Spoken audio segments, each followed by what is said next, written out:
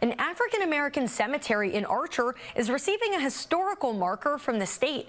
The owners of the Bethlehem Methodist Episcopal Cemetery invited community leaders and residents for the unveiling ceremony. The organization's president says this accomplishment comes after a remarkable discovery during the cemetery's restoration project.